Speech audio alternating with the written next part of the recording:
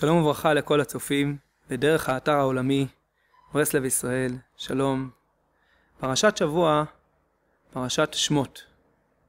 בפרשיות האלו אנחנו מתחילים את ההשתלשלות של עם ישראל, את כל הסדר שהם עבדו במצרים, ואחר כך את המכות שקיבל פרעה, ואחר כך את יציאת מצרים, ונתינת התורה, וכן כל העניין הזה. אפשר ללמוד מהפרשה הזאתי ומכל הפרשיות האלו למעשה לחיים שלנו. החיים שלנו, מה אפשר ללמוד מזה?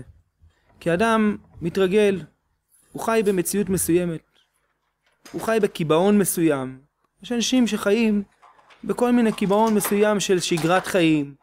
הם לא שמים לב את הסדר של החיים, הם לא שמים לב את האור שהם יכולים להכניס לחיים שלהם, לפתוח את האור של החיים, לפתוח קצת את הקיבעון.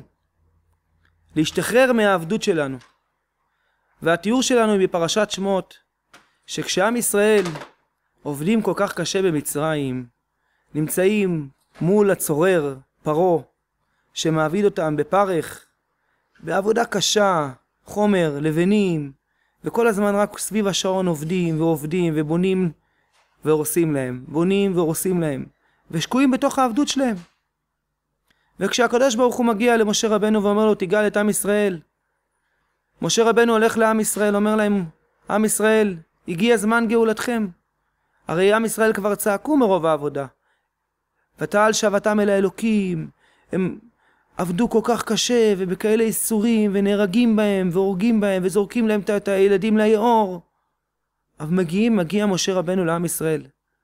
אומרת התורה ומתארת התורה בפרשה ולא שמעו אל משה מקוצר רוח ועבודה קשה.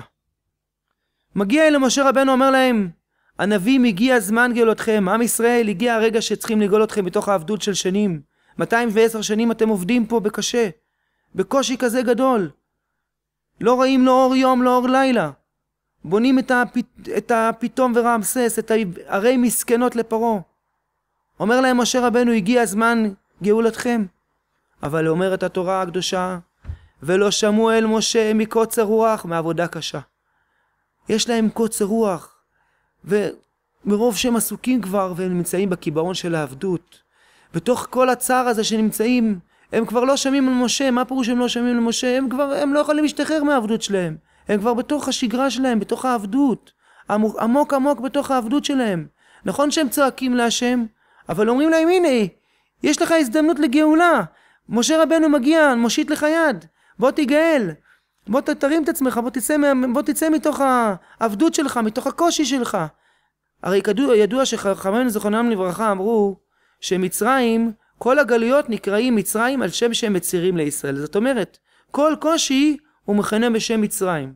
אז כל קושי שיש לאדם הוא מכונה במצרים. כשאומרים לאדם נגאל אותך, אז גואלים אותו מהמצרים שלו, מהקושי שלו. דוד המלך אומר מן המצר קראתייה. מה זה מן המצר? מתוך מה שצר לי, מתוך הצער, מתוך הקושי.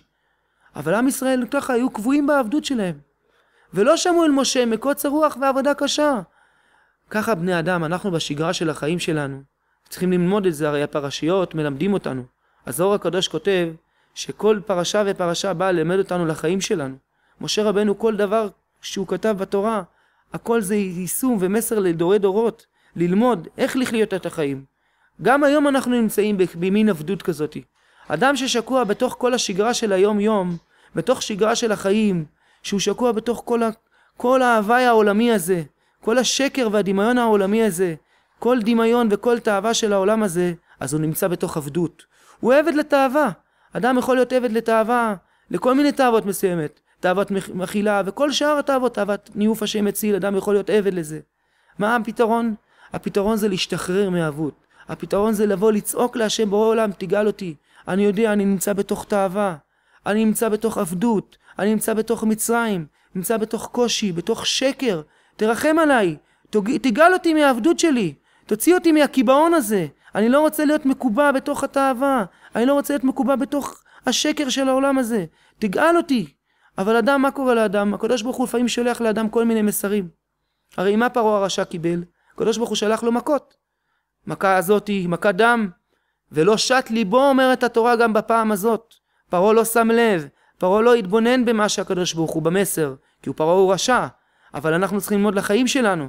הקדוש ברוך הוא שולח לנו לפעמים מסרים. חס, חלילה וחס לפעמים זה גם מגיע למכות. זה מגיע לקשיים שהקדוש ברוך הוא שולח לנו, לניסיונות, לייסורים, אבל אדם לא שם לב. הוא כבר נמצא בתוך המהלך החיים, בתוך ההוואי החיים, הוא לא שם לב את הרמזים שהקדוש ברוך הוא מרמז לו. הוא לא שם לב, הוא מתקדם הלאה. מתקדם הלאה, עובר למכה הבאה, חס שלום. הוא מתקדם הלאה, הוא עובר למכה הבאה עד שהוא לא מתעורר, עד שהוא לא מתעורר, שהוא רואה כבר שאין מה לעשות, כמו שהיה במצרים, עד שכבר עם ישראל הגיעו כבר לשיא, והקדוש ברוך הוא כבר ריחם עליהם, גאל אותם כבר מעצמם, הכניס להם את הדת. אבל מה ככה אדם נמצא? אדם נמצא קבוע בתוך, בתוך, בתוך הקושי שלו, הוא כבר לא שם לב. הוא כבר לא שם לב אפילו לפעמים שהתאווה, שהשקר זה כבר שקר. הוא כבר, זה חלק מההוואי החיים שלו, זה השגרת חיים שלו, זה היום יומי שלו. אבל מה האדם צריך? האדם צריך לצאת מהעבדות שלו.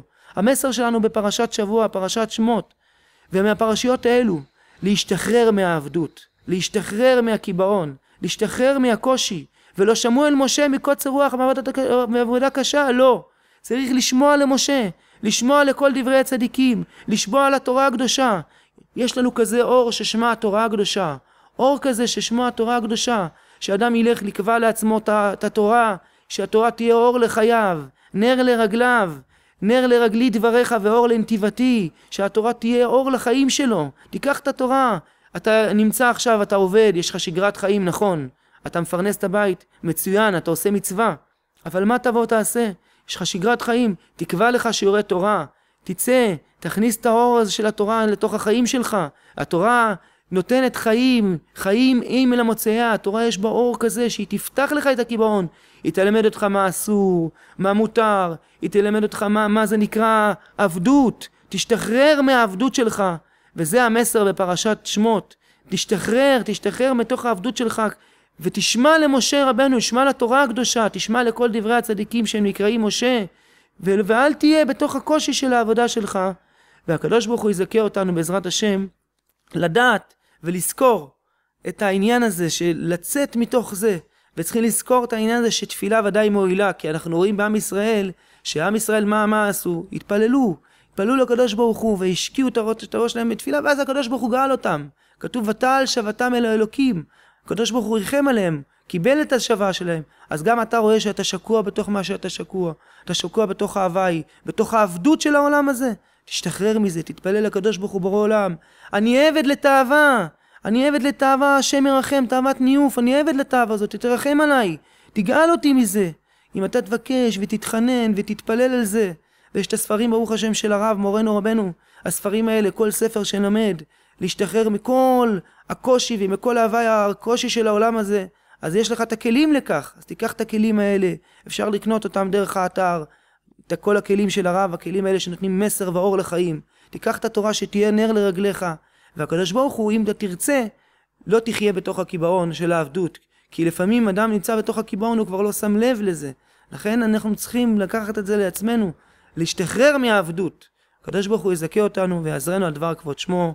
שבת שלום וכל הברכות שכתובות בתורה היו ברוכים.